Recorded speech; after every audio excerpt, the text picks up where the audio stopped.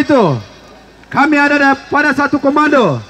Oleh sebab itu ke teman-teman keamanan coba fungsikan.